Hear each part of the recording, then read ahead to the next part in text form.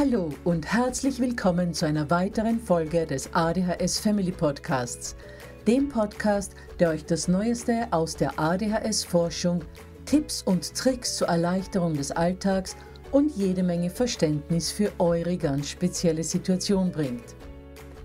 Ich bin im Übrigen Anna, vor 16 Jahren noch verzweifelte Mama eines ADHS-Kindes. Heute, viele Jahre und mehrere Fortbildungen später, bin ich Expertin für ADHS und eine sehr entspannte Mutter eines mittlerweile 20-Jährigen, der trotz dieses Syndroms zu einem glücklichen und beruflich erfüllten jungen Mann herangewachsen ist. Ich möchte euch mit diesem Podcast genau dort zur Seite stehen, wo auch ich vor vielen Jahren Hilfe gebraucht hätte.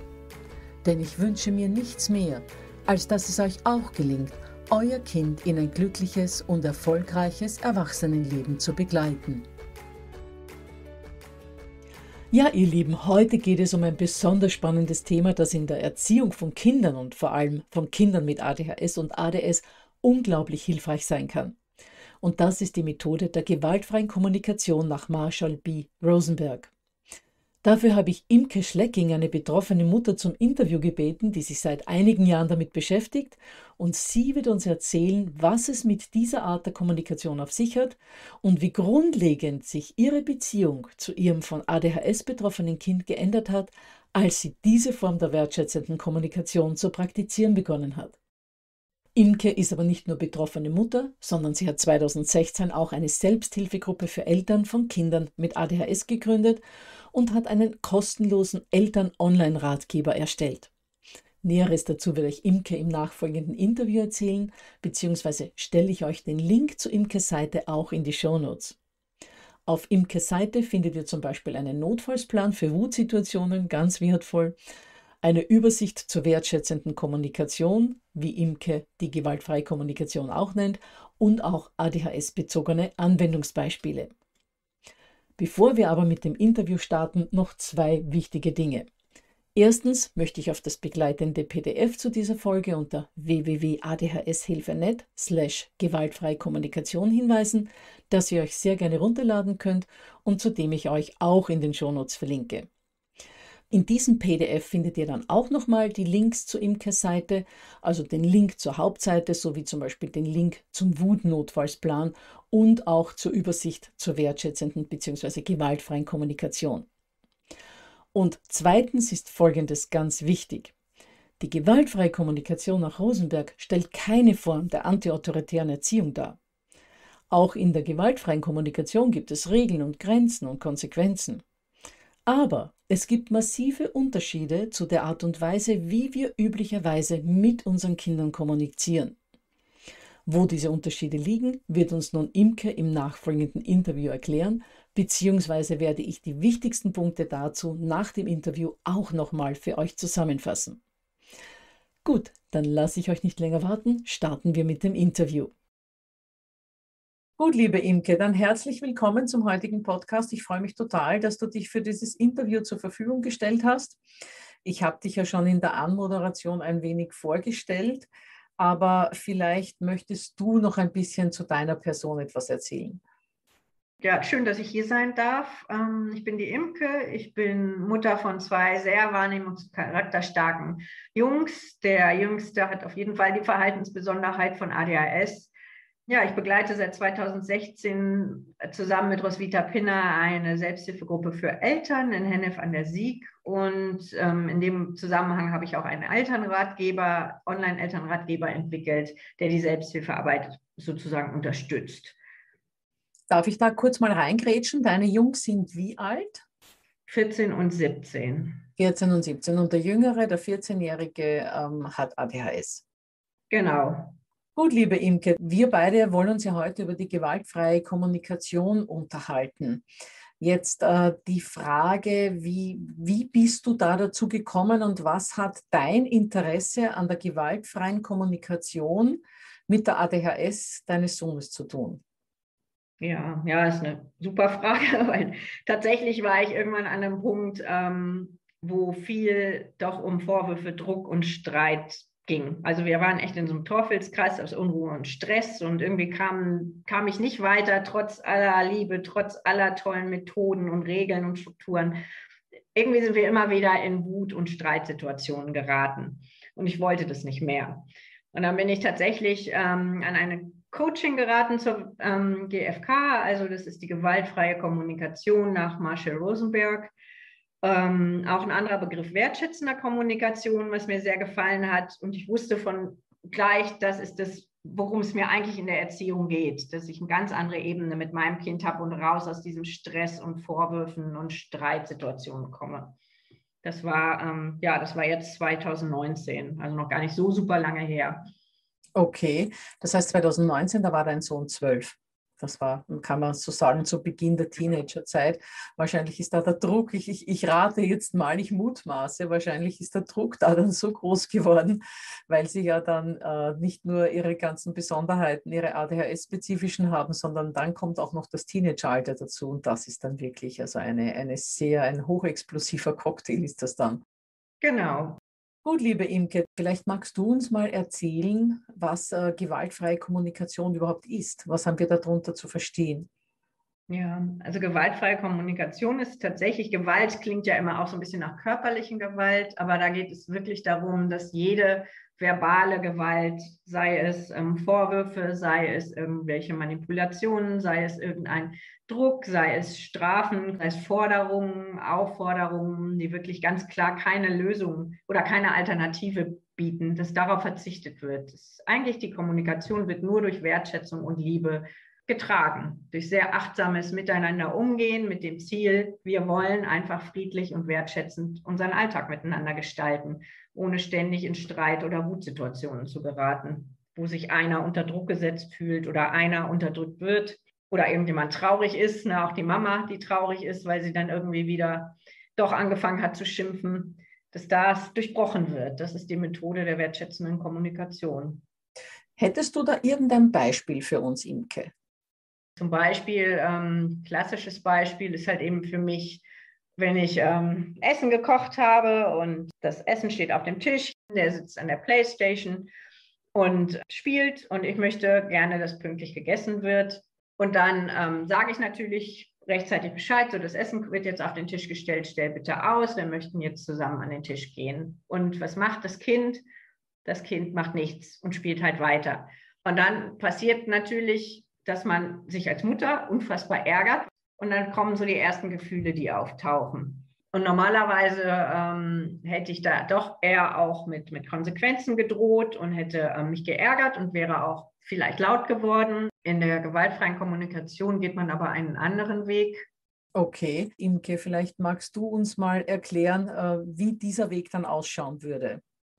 Genau, dieser Weg besteht aus vier konkreten einzelnen Schritten die sehr viel mit ähm, Achtsamkeit und guter Beobachtung und Wahrnehmung der Situation, aber auch eben einer ganz neuen Formulierungstechnik ähm, der, der Wünsche, die ich an mein Kind habe, ähm, zusammenhängen. Aufgebaut ist die Methode in vier Schritten. Der allererste Schritt ist einfach, wenn ich in eine Situation komme, wo ich gerade mit einem ADHS-Kind eigentlich in Stress gerate, bevor ich spreche, bevor ich handle, erstmal in der Ruhe bleiben, die Situation beobachten, wirklich genau gucken, was passiert hier überhaupt, auch ohne Bewertung und ohne Urteile. Das ist halt das Wichtige. Also Schritt eins, es passiert etwas, ich möchte reagieren, aber ich bleibe erstmal in der Ruhe, beobachte ohne Urteile und ohne Bewertungen. Und das ist einfach nicht einfach. Das muss man üben. Da kommen wir dann in diesen Punkt, da ist es gut, wenn ich mich im Vorfeld schon mal trainiere zu atmen, wenn ich im Vorfeld, wenn ich in entspannten Situationen bin, schon mal übe, mit beiden Füßen auf dem Boden zu stehen und für mich klar zu haben, wie funktioniert es für mich in der Ruhe zu bleiben. Das kann man nicht üben, wenn man in einer Stresssituation ist, das sollte man vorher schon üben. Der ähm, zweite Schritt wäre dann halt, was wird beobachtet? Ne? Also welchen Auslöser gibt es vielleicht? Okay, mein Kind ist unruhig, mein Kind hat gerade keinen Bock auf Hausaufgaben, es hat Hunger, es ist müde. Oder bei mir selber, wichtig ist auch, dass ich bei mir gucke, oh, ich habe Zeitdruck, Mensch, das Essen steht auf dem Tisch. Ne, ich habe gerade eine negative Rückmeldung von der Schule bekommen. Was ist gerade los? Warum wird gerade eine Kommunikation benötigt? Und warum könnte die jetzt zu Stress führen? Der nächste Schritt ist dann einfach für sich die Gefühle zu erkennen und zu benennen. So, ich sehe, okay, das Kind ist total genervt, weil es ähm, keinen Bock auf Hausaufgaben hat.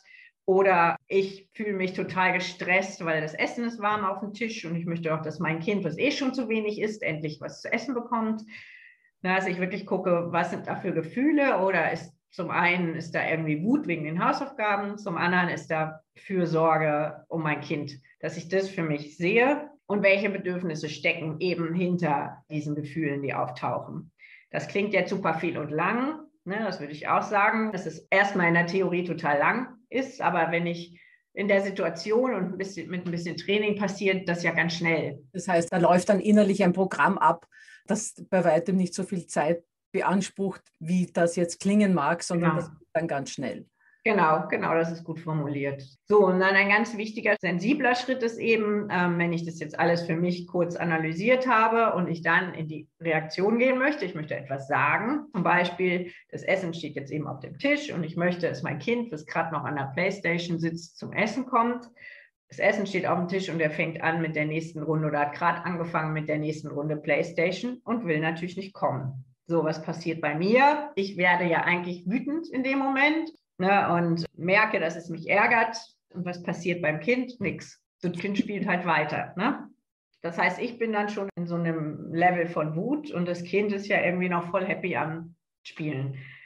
Und das ist dann eben der Punkt, was mache ich? Dann, ähm, dass ich dann halt eben, nachdem ich beobachtet habe, was passiert hier gerade mit mir, nicht in Forderungen und Drohungen und negativen Konsequenzen einsteige, sondern dass ich dann zum Beispiel sage, ich sehe, dass du noch lieber Playstation spielen möchtest, aber mir ist es wichtig, dass wir jetzt zusammen Mittag essen. Ich möchte nicht, dass das Essen kalt wird.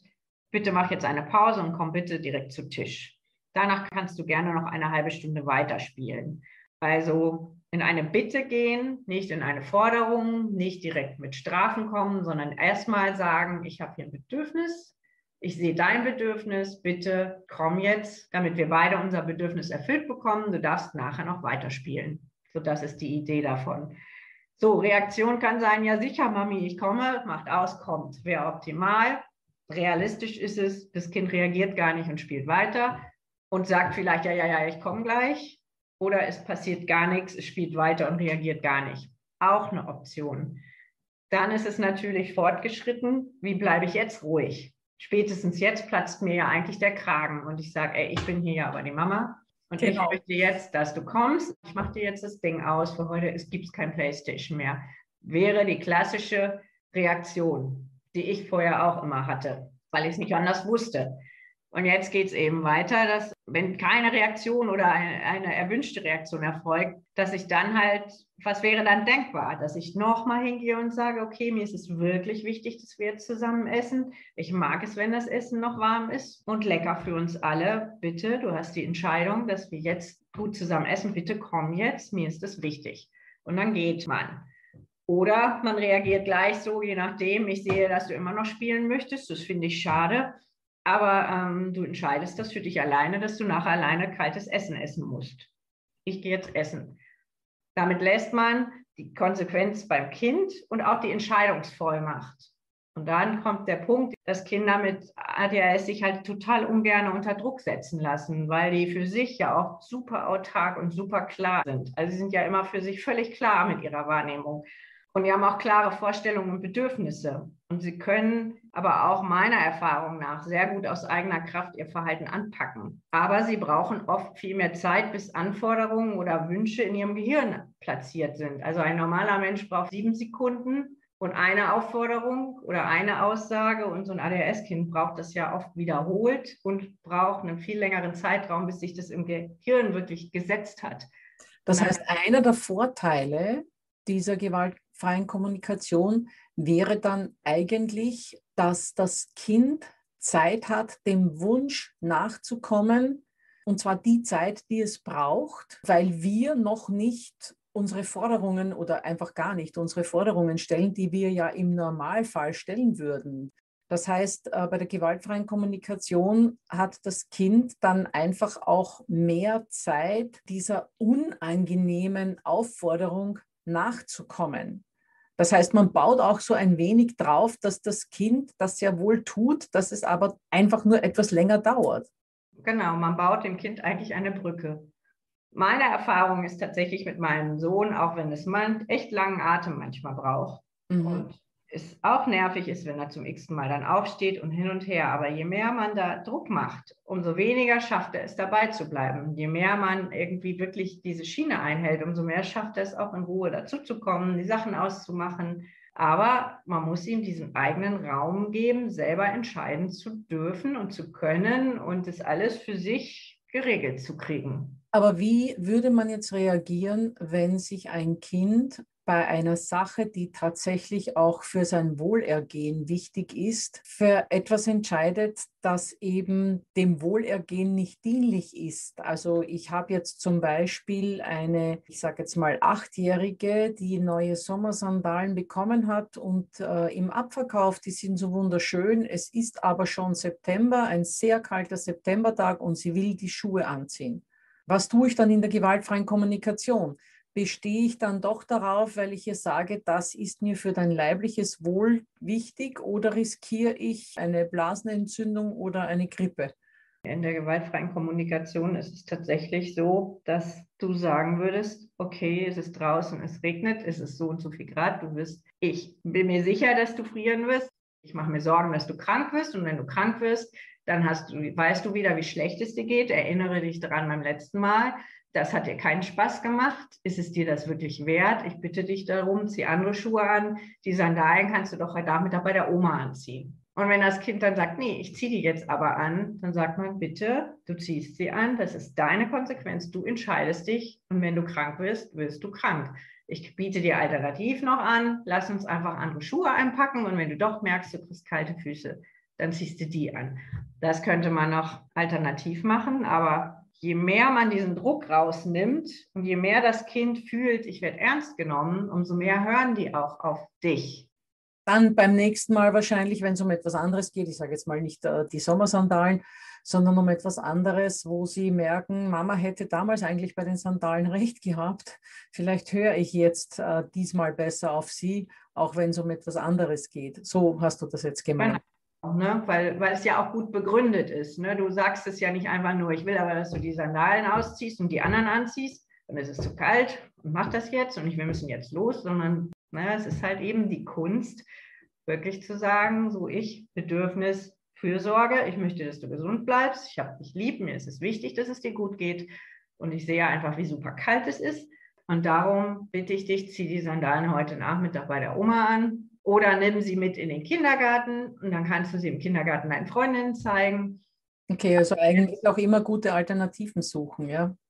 Ich habe ich hab das jetzt schon zweimal bemerkt, wie du das gesagt hast, dass du dann immer eine Alternative anbietest. Äh, du kannst dann nach dem Essen noch Playstation spielen oder du kannst die Sandalen nachher noch anziehen, aber nicht einfach so kategorisch ähm, Playstation wird jetzt abgestellt oder äh, Sandalen gehen heute nicht zu kalt. Genau, so dass das Kind irgendwie das Gefühl hat, es wird wahrgenommen in, seiner, in seinem Bedürfnis. Okay. Dass sich ernst genommen fühlt, dass es das Gefühl hat, ich werde gesehen und, und werde immer nicht nur, ne, das wird nicht nur so über mich hinweg entschieden. Ja. Ne, weil tatsächlich Kinder ohne ADHS lassen das leichter mit sich machen, aber Kinder mit ADHS sind so willensstark, die haben so klare eigene Vorstellungen, die einfach ja überhaupt nicht mit unseren zusammenpassen, weil die so klar sind. Aber jetzt stelle ich mir gerade vor, so einen kleinen ADHS-Wutzwerg, weil ich denke, es wird ja trotz gewaltfreier Kommunikation oder trotz diesem Versuch der wertschätzenden oder gewaltfreien Kommunikation immer wieder zu Situationen kommen, wo man das nicht ganz schafft und wo das Kind dann dennoch in die Wut kommt. Äh, wie, wie geht das dann bei der gewaltfreien Kommunikation? Ja, also da habe ich tatsächlich leider unfassbare ähm, Erfahrungen mit, weil mein Kind konnte so intensive Wutanfälle bekommen. Verbal und körperlich ist er völlig außer Kontrolle geraten. Und das hat mit mir immer ganz viel gemacht. Also im Grunde, die Wut triggert einen ja selber so sehr und man, man bekommt ja als Mutter selber totale Angst. Und Wut, wenn das Kind so entgleist. Doch die äh, Methode der GfK, da habe ich wirklich, wirklich gelernt, damit umzugehen. Am Anfang bin ich erstmal stehen geblieben und habe mir klar gemacht, dieses Kind hat eine Wut, weil er ein Bedürfnis hat von, ich möchte von Mama gesehen werden, ich möchte gerne jetzt das Eis. Ich, er hat immer einen Grund gehabt für diese Wut. Und am Anfang habe ich tatsächlich, als ich gelernt habe, das GFK anzuwenden, ich, ich bin stehen geblieben, ich habe geatmet und ich habe diese Wut ausgehalten. Das war schlimm die ersten Male und ja, und ich musste mich echt disziplinieren, es nicht persönlich zu nehmen, komplett in Liebe zu bleiben und komplett achtsam es auszuhalten, dass mein Kind gerade völlig austickt. Und am Anfang ist er immer mehr ausgetickt, weil er ja so eine Angst bekam, dass ich plötzlich nicht mehr gegenreagierte. So ja, und dann ähm, ist es aber so geblieben, dass ich dann danach, nach dem Wutanfall, formulieren konnte, okay, ich sehe, ne, du bist ganz wütend geworden und ich denke, dass du ähm, dir Sorgen gemacht hast, dass ich dir jetzt nicht zuhöre oder ne, ich verstehe deine Wut und es ist auch gut, dass du das so ausdrücken konntest. Also dann gehe ich halt hin und signalisiere erstmal, ich bestrafe ihn nicht wie sonst für, ah, jetzt warst du schon wieder wütend und äh, äh, äh, äh sondern wirklich zu sagen, okay, deine Wut ist in Ordnung und deine Wut ist nicht schlimm und ich habe dich lieb. So, und es hat einen Grund, warum du diese Wut hattest und die verstehe ich. Das war dann so der Folgeschritt, wenn die Wut abgeflacht war. Und irgendwann habe ich dann angefangen, wenn so wutauslöhnende Situationen waren, was weiß ich, ich habe nicht sofort reagiert, weil ich abgewaschen habe und das Kind wollte was von mir. Das war so Killefit, wo der wütend geworden ist. Dann habe ich einfach gesagt, okay, ich nehme wahr, du möchtest jetzt gerade, dass ich komme und dir ähm, deine Zeichnung angucke. Ich nehme das wahr und ich höre dich. Und du möchtest, dass ich jetzt sofort unterbreche. Also wenn er da nicht will, aber dass du jetzt kommst und dass du sofort kommst und dann konnte er sich da massiv reinsteigern, dann bin ich halt wirklich in diesem okay, ich sehe, du möchtest, dass ich sofort meine Arbeit unterbreche, du willst, dass ich jetzt sofort komme. Und habe das im Grunde genommen ihm gespiegelt, was er gerade von mir will, um dann zu sagen, so ich möchte jetzt aber erst abwaschen. Und wenn ich fertig mit dem Abwasch bin, dann komme ich direkt zu dir und gucke mir dein Bild an. Ist das okay? Und dann hat sich dadurch, hat der sich gesehen gefühlt, er hat gemerkt, ach guck mal, Mama kommt, die ganze, dieser ganze Druck, dieses Machtspiel, weil ganz viel entwickelt sich in Machtspielen zwischen ADHS, Kindern und Eltern. Irgendwann ist das so eine Machtspirale. Und die ist durchbrochen dadurch, weil keiner mehr in ein Machtspiel gehen muss. Warte mal, lass mich da wieder kurz reingrätschen.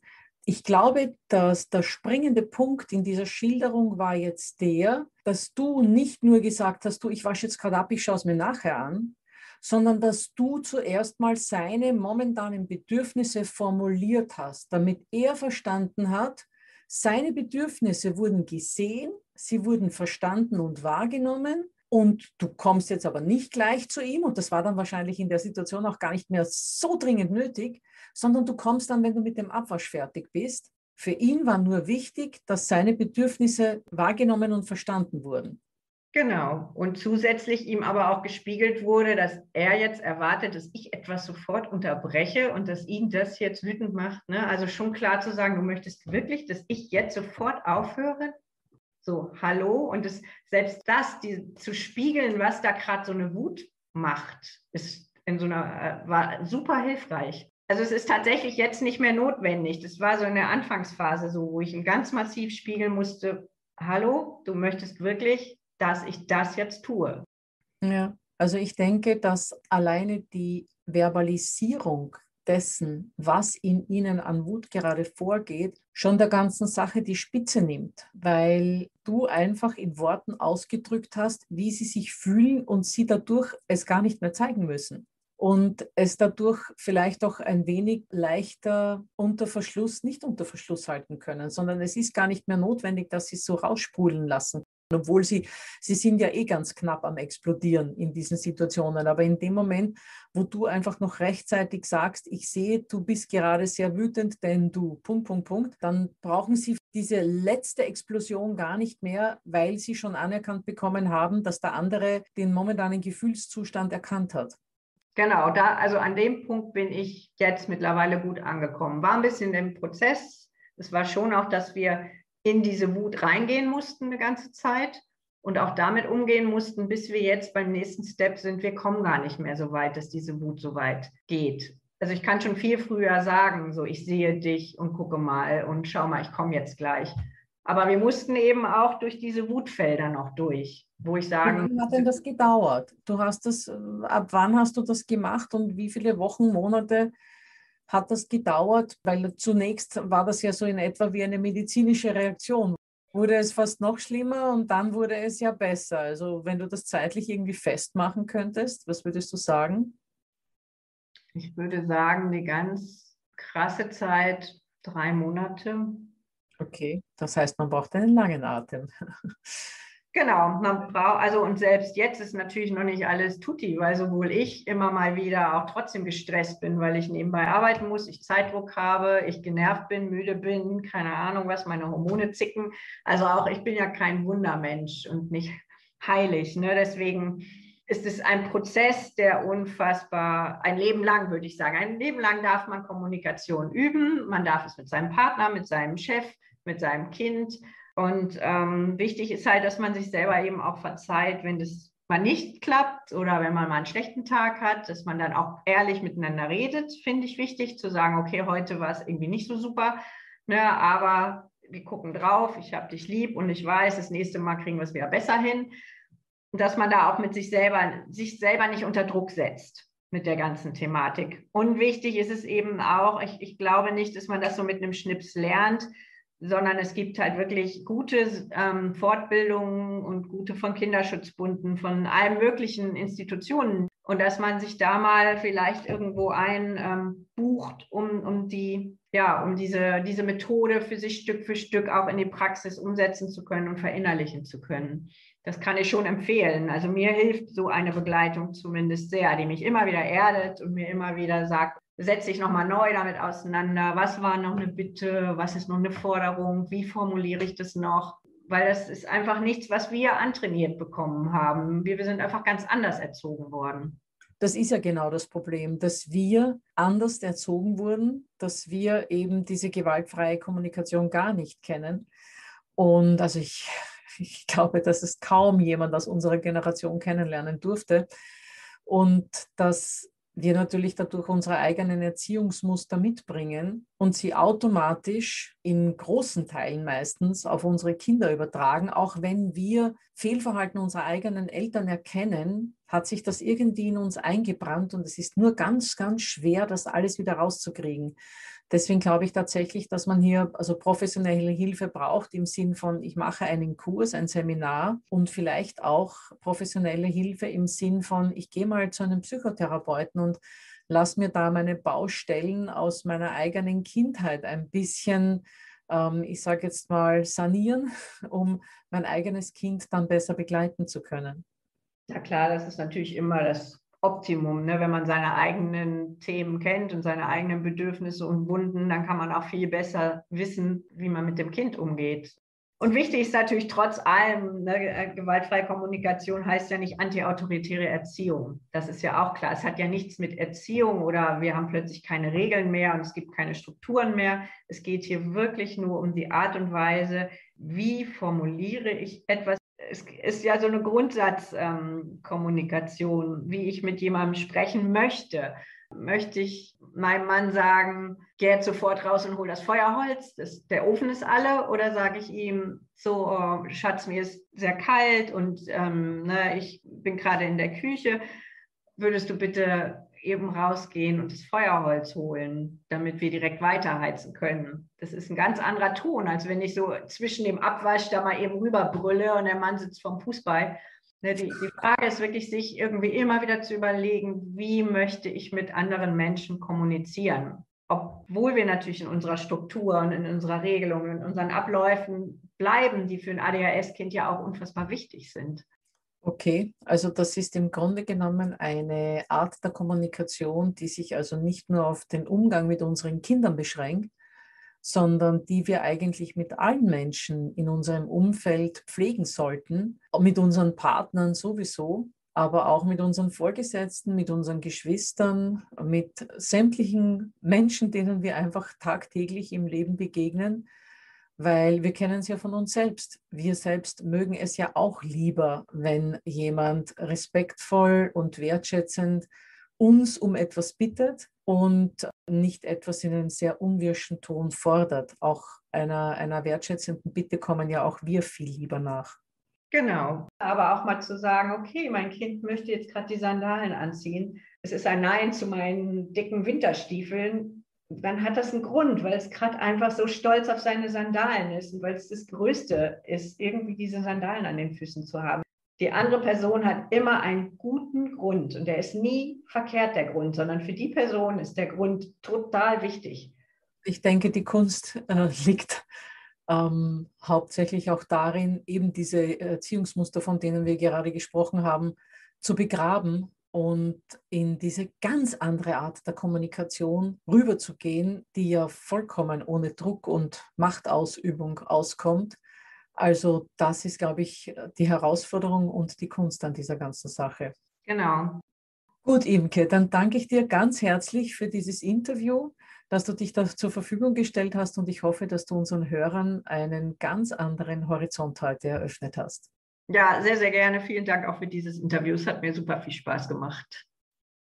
Ja, ihr Lieben, also für mich war das ein super spannendes Interview, das uns allen wieder mal vor Augen geführt hat, wie sehr unsere Art und Weise, mit unseren Kindern zu sprechen, unsere Beziehung zu ihnen und letztendlich auch die gesamte Familiendynamik beeinflusst. Bevor ich jetzt aber noch mal kurz den Unterschied zwischen antiautoritärer Erziehung und der gewaltfreien Kommunikation auf den Punkt bringe, Lasst mich die vier Schritte, die Imke uns erklärt hat, nochmal kurz zusammenfassen. Ich finde die nämlich besonders wichtig und ähm, nachdem sich das ja auch etwas länger in der Erklärung angehört hat, möchte ich das nochmal kurz für euch zusammenfassen. Also, Schritt Nummer eins. Ich komme in eine Situation, die eskalieren könnte. Also bewahre ich zuerst mal die Ruhe, atme tief durch und beobachte, was hier eigentlich gerade passiert. Schritt Nummer zwei. Ich schaue mal, welche Gefühle sind hier eigentlich im Spiel, sowohl beim Kind als auch bei mir als Erwachsenen. Ist jemand wütend, verzweifelt, hat mein Kind vielleicht Angst, bin ich enttäuscht, bin ich frustriert? Schritt Nummer drei. Was braucht mein Kind gerade? Braucht es vielleicht Aufmerksamkeit? Braucht es mehr Zeit für Spiel? Braucht es Bewegung? Genauso wichtig aber, was brauche ich als Mama oder Papa in diesem Moment? Brauche ich Ruhe? Brauche ich kurz mal Zeit für mich selbst oder Zeit, eine Sache zu Ende zu bringen. Und erst jetzt folgt der vierte Schritt. Erst jetzt spreche ich als Mutter oder Vater. Erst nachdem ich für einen kurzen Augenblick bewusst die Gefühle und die möglichen Bedürfnisse aller an der Situation Beteiligten betrachtet habe, formuliere ich, was ich möchte, aber wertschätzend. Ich spreche aus, wenn es nötig ist, wie sich mein Kind in meiner Wahrnehmung gerade fühlt, was es für Bedürfnisse hat. Ich sage aber auch, wie ich mich als Mama oder Papa gerade fühle und welche Bedürfnisse ich habe und formuliere nun eine Bitte. Um nochmal das Beispiel mit der Playstation und dem Abendessen aus dem Interview aufzugreifen. Da hat Imke das in etwa so formuliert. Ich sehe, dass du noch gerne weiterspielen möchtest, aber das Essen steht auf dem Tisch und ich würde mir wünschen, dass wir alle gemeinsam essen können. Prinzipiell ist wichtig, dass auf alle Formen von Vorwürfen, Bewertungen und vor allem auf Druck und Macht ausüben auf das Gegenüber verzichtet wird. Aber was auch noch wichtig ist, wenn sich das Kind dafür entscheidet, sein Bedürfnis zu befriedigen und seinem eigenen Wunsch nachzukommen und nicht dem der Eltern, so muss das von den Eltern akzeptiert werden. Dem Kind muss also die Entscheidungsfreiheit bleiben. Allerdings gibt es dabei, zumindest für mich, insofern Einschränkungen, als dem Kind diese Entscheidungsfreiheit nur dort gegeben werden kann, wo es sein Wohl nicht in bedenklicher Weise gefährdet. Wenn sich das Kind also bei nur 8 Grad plus Außentemperatur für die Sommersandalen entscheidet und von dieser Entscheidung nicht abzubringen ist, so werde ich es seine Erfahrungen damit machen lassen und diesem dem Kind offenbar so wichtigen Wunsch nachkommen. Möchte das Kind aber bei minus 10 Grad das Haus ohne Winterjacke verlassen, so muss ich im Sinne des Kindeswohls darauf bestehen, die Jacke zumindest mitzunehmen. Spätestens nach einer Minute in der Kälte wird das Kind sie ohnehin anziehen. So, und jetzt zu diesem Unterschied zwischen antiautoritärer Erziehung und wertschätzender Kommunikation. Imke hat das ja schon im Interview betont. dass es trotz wertschätzender Kommunikation Regeln und Grenzen gibt. Denn wie wir vor allem im Podcast 14, 15 und 46 gehört haben, geben Regeln und Grenzen unseren Kindern Sicherheit. Die gewaltfreie Kommunikation darf also nicht mit Regel- und Grenzenlosigkeit im Sinne einer antiautoritären Erziehung verwechselt werden.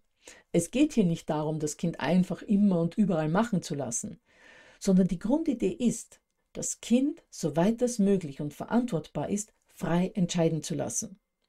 Und dass ein Festhalten an unliebsamen Entscheidungen dort, wo im Sinne des Kindeswohls durch die Eltern übernommen werden muss, dass das dem Kind ebenfalls auf wertschätzende und keinesfalls machtausübende Art und Weise vermittelt wird.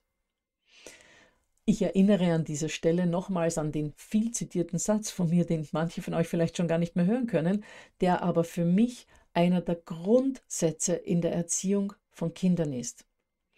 Und zwar lautet dieser Satz, ich halte an meiner Entscheidung fest, nicht weil ich es mir einfach machen will oder weil ich dich nicht lieb habe, sondern ganz im Gegenteil, weil du für mich das Wichtigste auf der Welt bist, weil mir dein Wohl am Herzen liegt.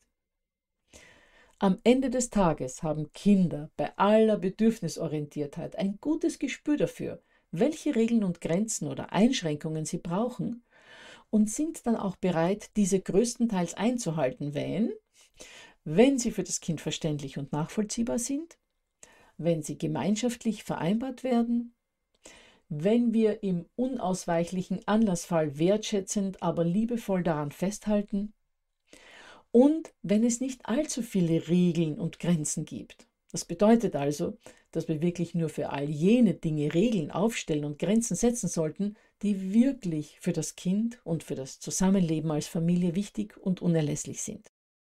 Das heißt, in der gewaltfreien Kommunikation geht es nicht darum, dass die Kinder die Führung übernehmen, denn das würde sie überfordern und mit Aggressionen enden, wie wir im Podcast der vergangenen Woche ja gehört haben.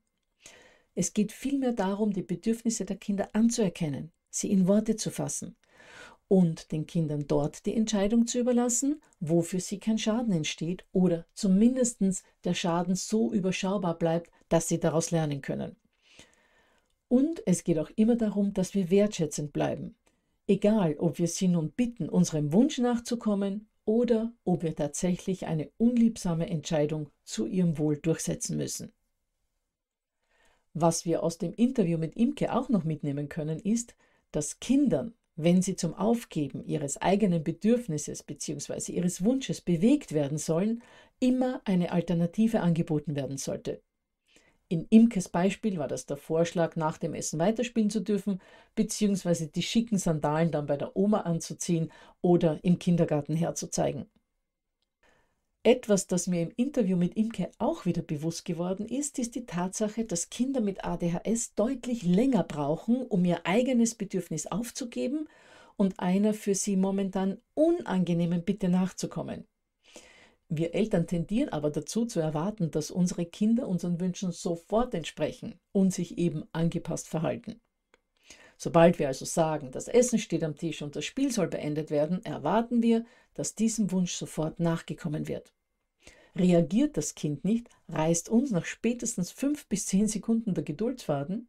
Wir wiederholen die Aufforderung lauter und mit genervter Stimme und schon beginnt ein meist sehr lauter Machtkampf, der damit endet, dass das Kind dann ja, wahrscheinlich wutentbrannt bei Tisch sitzt, aber die Stimmung schlecht ist und das Kind möglicherweise das Essen verweigert.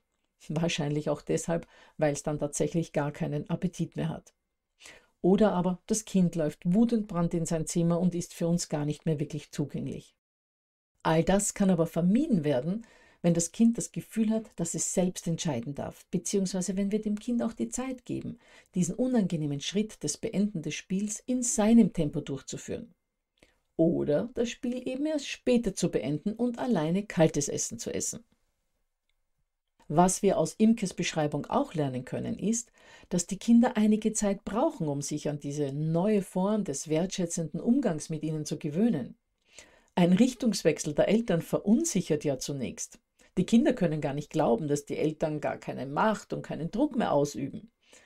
Wenn sie dann aber merken, puh, die meinen es ja wirklich ernst, fürchten sie vielleicht, dass Mama oder Papa diesen neuen Kurs nicht lange durchhalten werden.